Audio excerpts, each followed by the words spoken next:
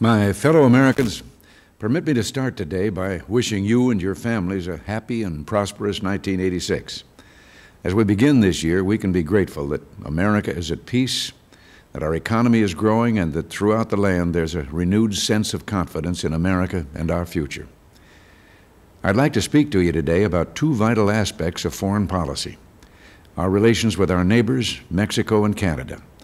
Just yesterday, I traveled to Mexicali, Mexico to meet President de la Madrid.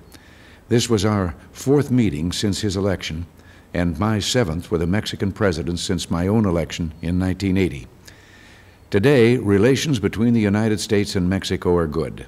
There's no clearer proof than our cooperation in rescue efforts after an earthquake struck Mexico City last September.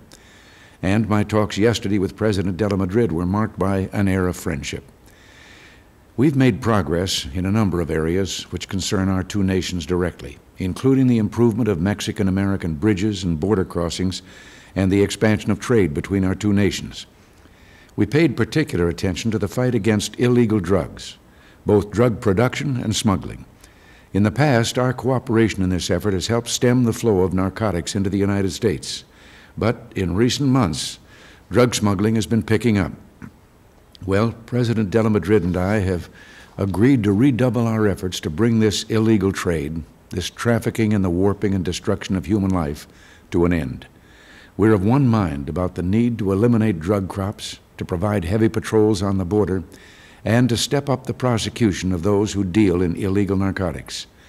Both Mexican and American officials have given their lives in the battle against illegal drugs.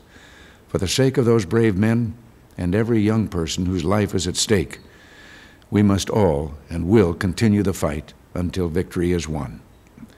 In the international field, President de la Madrid and I expressed our respective viewpoints, notably on the problems of Nicaragua and other countries in Central America.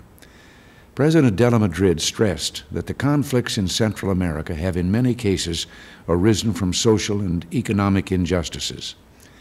Well, for my part, I agreed that the nations of Central America have for many years been beset by poverty.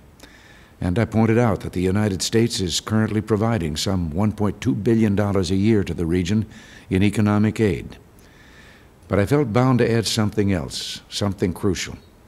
The answer to Central America's problems is political and economic freedom, not Soviet tanks and ruthless regimes like the communist dictatorship in Nicaragua that wages war against its own people. And this is why the United States will continue to support those fighting for freedom and democracy in Nicaragua. Permit me to turn now to Canada, our neighbor to the north. Last March, I traveled to Quebec City to meet Canadian Prime Minister Brian Mulroney. The Prime Minister and I agreed that relations between our two countries are excellent. Canada and the United States maintain the largest trade between any two nations on earth. We cooperate in the defense of North America and are partners in the NATO alliance. We share a tradition of democracy and political stability and a firm commitment to economic growth. We're not only friends and neighbors, we're cousins. Since our March meeting, the Prime Minister and I have worked to improve our relations still further.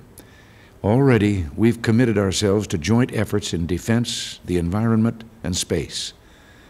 With regard to trade, I've informed the Congress that I want to begin negotiations with Canada on an agreement of historic significance to both countries. Our goal is to promote free and open economic competition and to reduce those few barriers to our trade that still remain. When Prime Minister Mulroney visits Washington this March, I believe the mid 1980s will already have taken shape as the most productive period in the long history of Canadian American friendship. During my 1980 campaign for office, I called for a North American Accord, a renewed spirit of friendship and cooperation between the United States, Mexico, and Canada, the three great nations which share this continent. I was delighted to see that spirit so much in evidence yesterday in Mexicali, and I'm confident that this spirit of friendship among our three countries will mark 1986 and the years beyond. Until next week, thanks for listening. God bless you.